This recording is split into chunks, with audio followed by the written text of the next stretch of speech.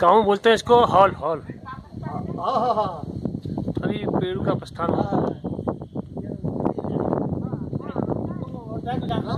बहुत कुछ हूँ।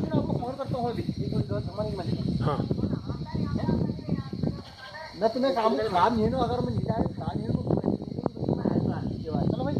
तो ये भी मिल जाएगा।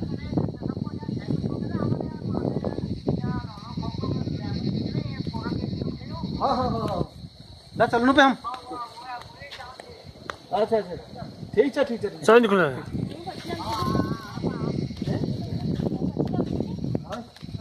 लॉक लॉक चक्कर ले।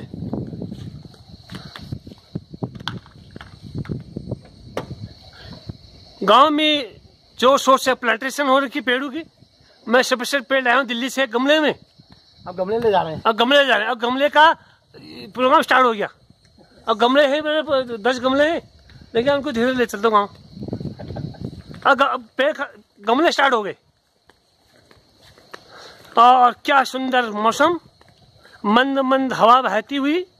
अभी हमारे हिल स्टेशन में जहाँ उतरता हूँ रतखाल तो ये जो सामने जो बादल हैं, ये इसको गाँव में बोलते हैं हॉल। बादल हैं, ये बिच्छू झाड़ सिसोड़ और आइए प्रोजेक्ट बनाते हैं। देखिए वहाँ वहाँ कुछ दिखाई नहीं रहा है। घनोघोर बादल। हाँ से दिनेश आप कौन सा पेड़ लाए? देखिए जी अब ये कौन से पेड़ आ रहे हैं? मौसम भी सुबह शाम के छह बज रहे हैं सात बज रहे हैं। क्या बढ़िया सावन का मौसम है आया सावन झूम के। लेकिन आप ये गमले में कौन सा पेड़ लेके आ रहे हैं है? अजवाइन का पेड़ है। अजवाइन का? हाँ तो अब जो पेड़ को लग चुके हैं लगभग और पीछे भी लगे पेड़ को रखे। हाँ वो पेड़ लेके आ रहे हैं। और अब वो काम अब गमले काम स्टार्ट हो गया चलो। अभी पच्चीस गमले और अच्छा ये मतलब एक दो दिन में तो लगेंगे गाँव में खुशहाली बनेगी। एक दो दिन में अब आहा गाँव का सुनम मौसम। पेड़ पेड़ लगाइए, पौधा रबड़ लगाइए, गाँव संवारिए, और प्लान का अल्टरनेटिव बनाइए। अब ये गाँव के लिए सड़क की काम स्टार्ट हो गया। आहा, क्या कहने गाँव का मौसम? सुंदर मौसम। मौसम मौसम आया सावन झूम के। बादल यहीं देखो, बादल बादल है। और डर भी लग रहा है गाँव जाने लेट भी हो चुके हैं। अंधेरा बढ़ गया। और ये सूर्यास्त तो हुआ नहीं, लेकिन बादल से कुछ दिखाई नहीं दे रहा है। और अब हम अपने गाँव के लिए प्रस्थान। भैंसी खेत यहाँ से लगभग डेढ़ किलोमीटर नीचे गाँव भैंसी खेत है।